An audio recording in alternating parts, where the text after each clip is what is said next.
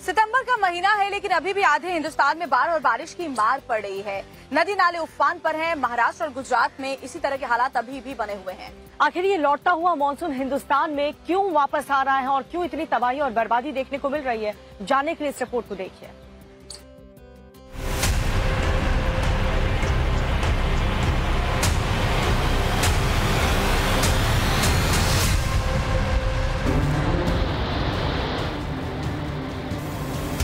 शहर शहर जल कहर। इससे कहो बैक कर ले। महाराष्ट्र टू गुजरात। मध्य प्रदेश टू राजस्थान। ज़िले शहर पहाड़। आसमानी आफत अपार। सितंबर में भी देश के कई राज्य बारिश और बाढ़ की ज़बरदस्त मार झेल रहे हैं। चुनौती न सिर्फ़ लोगों के लिए है, बल्कि बचाव दस्ते को भी राहत कार्य के लिए कड़ी मशक्कत करनी पड़ रही है। महाराष्ट्र, गुजरात एमपी और राजस्थान में आसमान से पानी कहर बनकर बरस रहा है तो पहाड़ी इलाकों के हालात भी भयावह हो चले हैं, जहाँ मिट्टी दरक रही है और पहाड़ ताश के पत्तों की तरह बिखर रहे हैं।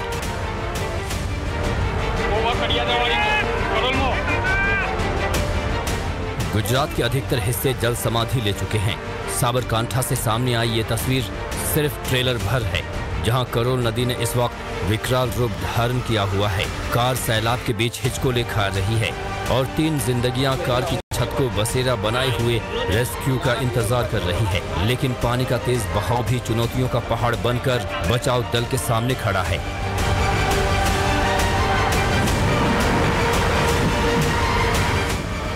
और कुछ ऐसी ही तस्वीरें यूपी के गोंडा से भी सामने आई हैं, जहाँ घाघरा नदी गुस्से में है और हर चीज़ को अपनी आगोश में लेने पर आमादा है। फिर क्या पेड़ पौधे और क्या घर, मकान भी तेज सैलाब के आगे घुटने टेक रहे हैं और लोग अपने आशियाने को बहता देखने पर मजबूर हैं। छत्तीसगढ़ में भी आसमान का सीना फट रहा है और बरस रहे पानी ने नदियों को भी नींद से जगा दिया है। लगातार हो रही बारिश से सीता नदी उफान पर है और सड़क के ऊपर से बह रही है, जिसके कारण गाड़ियों की रफ्तार पर भी ब्रेक लग गया है। कुछ लोग जान जोखिम में डालकर नदी पार करने को मजबूर हैं और जो सैलाब से दो से चार हाथ करने की हिम्मत नहीं जुटा पा रहे हैं, उन वाहनों की कतार ने ट्रैफ़िक जाम की स्थिति पैदा कर दी है। प्रशासन की ओर से भी लगातार पानी से दूर रहने की अपील की जा रही है।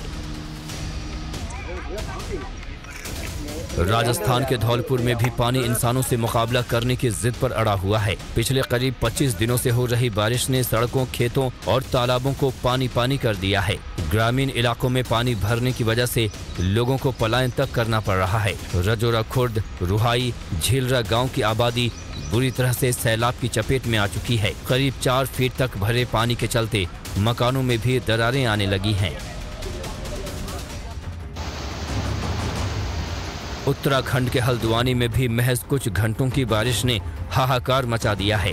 देवखड़ी नाला तेज बहाव के साथ बह रहा है। प्रशासन के अलर्ट के बावजूद लोग बाज आने को तैयार नहीं हैं और उफनते नाले को पार करने की कोशिश में जान से खिलवाड़ कर रहे हैं। इस वीडियो को देखिए, एक शख्स लहरों से खिलवाड़ करते हुए कार को नाले से पार कर रहा था। तभी कार सैलाब में बहने लगी। हादसे के वक्त कार में दंपत्ति और एक बच्ची सवार थी, जिसके बाद देवदूत बनकर आई एक महिला। सैलाब के बीच से बच्ची को सुरक्षित बाहर निकालने में सफल रही और फिर पूरे परिवार को सकुशल बाहर निकाल लिया गया। आसमान से बरस रही आफत और धरती पर उफन रही नदियों ने जल प्रलय ला दिया है और आने वाले कुछ दिनों तक इस आफत से राहत मिलती भी नज़र नहीं आ रही है। महीना है, लेकिन अभी भी आधे हिंदुस्तान में बाढ़ और बारिश की मार पड़ रही है। नदी नाले उफान पर हैं, महाराष्ट्र और गुजरात में इसी तरह के हालात अभी भी बने हुए हैं। आखिर ये लौटता हुआ मानसून हिंदुस्तान में क्यों वापस आ रहा है और क्यों इतनी तबाही और बर्बादी देखने को मिल रही है? जाने के लिए इस रिपोर्ट को देखिए।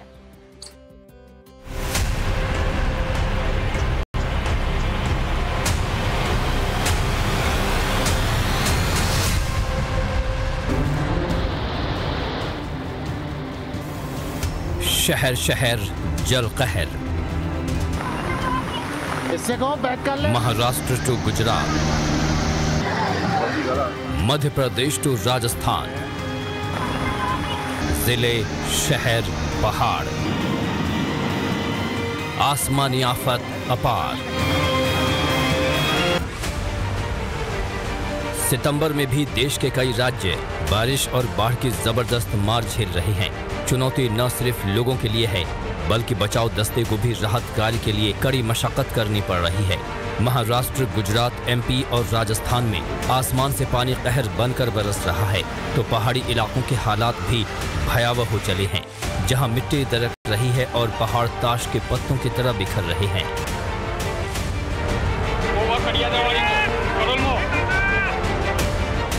गुजरात के अधिकतर हिस्से जल समाधि ले चुके हैं। साबरकांठा से सामने आई ये तस्वीर सिर्फ़ ट्रेलर भर है, जहाँ करोल नदी ने इस वक्त विकराल रूप धारण किया हुआ है। कार सैलाब के बीच हिचकोले खा रही है और तीन जिंदगियाँ कार की छत को बसेरा बनाए हुए रेस्क्यू का इंतज़ार कर रही है। लेकिन पानी का तेज बहाव भी चुनौतियों का पहाड़ बनकर बचाव दल के सामने खड़ा है।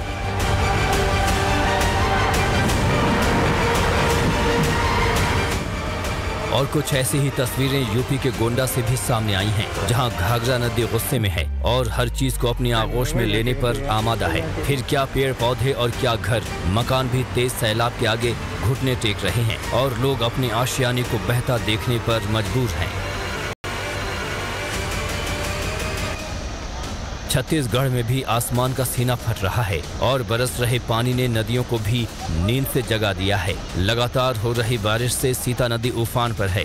और सड़क के ऊपर से बह रही है, जिसके कारण गाड़ियों की रफ्तार पर भी ब्रेक लग गया है। कुछ लोग जान जोखिम में डालकर नदी पार करने को मजबूर हैं और जो सैलाब से दो से चार हाथ करने की हिम्मत नहीं जुटा पा रहे हैं, उन वाहनों की कतार ने ट्रैफ़िक जाम की स्थिति पैदा कर दी है। प्रशासन की ओर से भी लगातार पानी से दूर रहने की अपील की जा रही है।